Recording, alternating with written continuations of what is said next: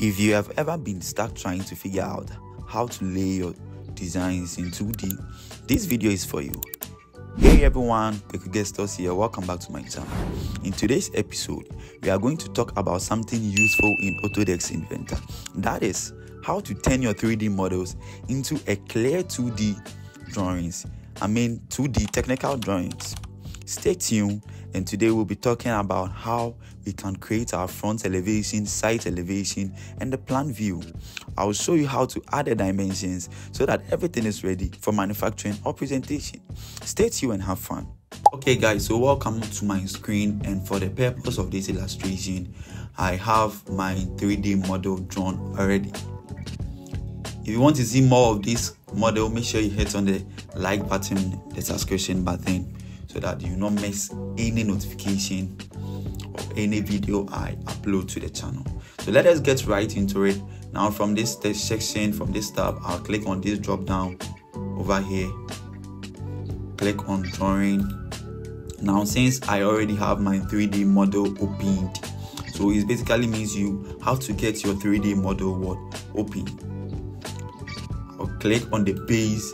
The moment I click on the base, it basically use my 3D model as reference, right? Basically uses my 3D model as what reference for this base. Now we can label this uh, our front view, but we first have to make the other views visible. So I'll click on this arrow and click on this arrow too. Now they are basically showing in what solid state. So I'll first change the view style and I'll use this view style. I can use this view style. Press on OK. Now everything has been changed nicely over here. So what is next for me to do? Let me also make my 3D object appear here so that we know whatever we are doing. I'll double click on the base and click this one.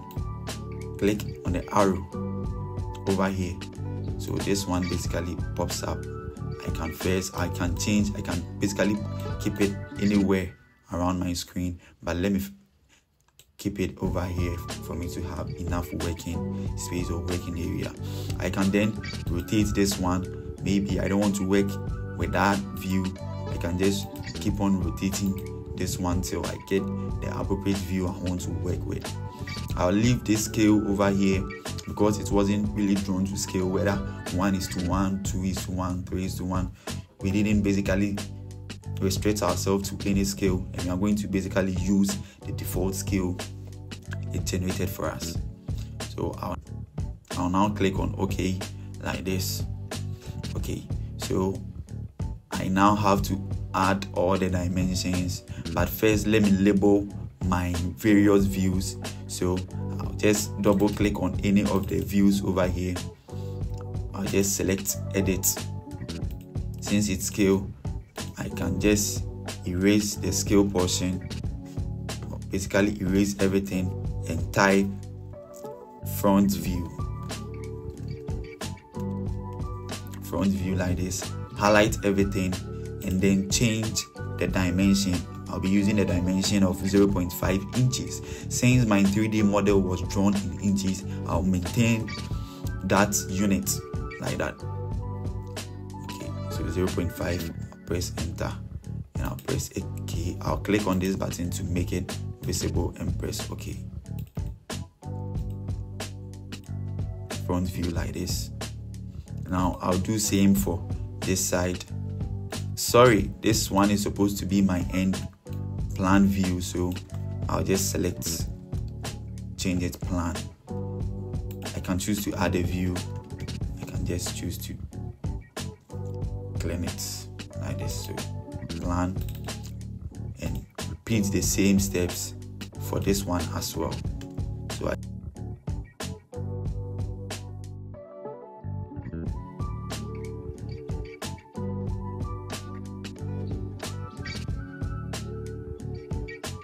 also change the font style at this drop down. There are tons of font style for us to use. If you are very familiar with microsoft word i think you can play around with all these styles or formats settings. I'll just click ok and just click on this for it to be visible. Now i have my various views over here. I can do same for this one but let me maintain all only these three because this is what we are going to talk about so now what is left for me to do is now i have to add my dimensions to this drawing. So at this dimension i'm going to first use this one as the whole illustration. So i'll come to the annotate section. Now we have dimensions and we have a whole lot of um, formats or editing we can make at this section. So I'll, I want the dimensions so I'll just select my dimensions now I'll first choose this dimension. You see it automatically generates the dimension for me but as we can see the font is too small. So what I'll do is I can double click on it and do it and select my actual font highlight or press this edit and what? Change my font size. Or basically for us not to waste time on editing all the font. I can just select this manage tab. For me not to waste time I can just come to this section style edit editor. Now come to this side select notes text editor and type in the font I want to use. And I want to basically use 0.4 for all the font size of my dimensions. Just press save. Now we can see the font size has been changed. Now I want to change I want to basically change the color so I can basically come to this tab come to the dimensions tab open the drop down or on this tab on this same notes tab I can just select color. I want it to look um, be in color blue save and continue. Now all my fonts are in color blue as we can all see. So now let so on this tab I'll just select come back to my annotate dimension.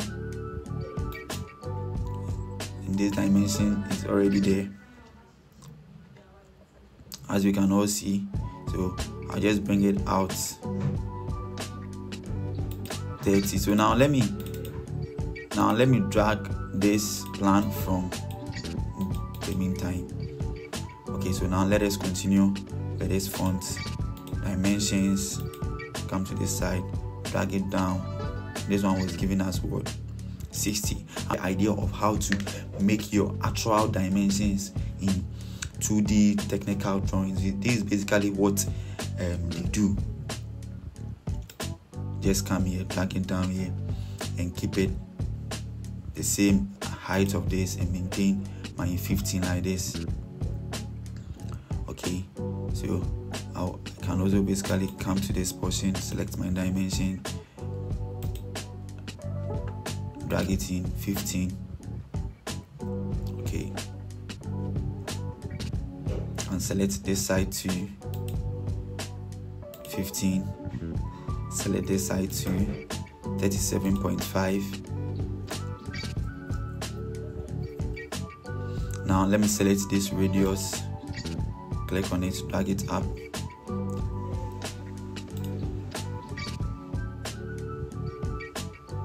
From this side to this side you can select that one too. That's the whole then keep it here. Select this radius to keep it here. Select this radius to you can decide to keep it like this. Done now for us to get the indications that they are the centers for this radius i just come to and annotate the center marks. I just click on this one. You see it's showing me the center marks. Just click on this one. I can do same for this one, but let us just leave it like this. So assuming you have radius and other stuff, you can basically or circles or holes, you can basically use this one, this center marks to I mean distinguish between two centers. So I can just click on this. See, so it's telling you that this radius and this radius has what common centers and the software does this for you at ease so I think I'm really done with my dimensioning and all these are basically our hidden dimensions which so i think my dimensions are completed uh, this is very nice. So i think we are getting a nice looking design. I think you really appreciate these steps of getting uh, so guys if you really like this video hit on the subscription button. Hit on the like button. And on our next episode we are going to talk about how to plot basically in AutoCAD. We have something we call plotting. Plotting basically in layman's terms we can say plotting is just converting your 3D model into a PDF format. But we have a whole lot to talk about. So catch you guys on another one. I hope this video really helps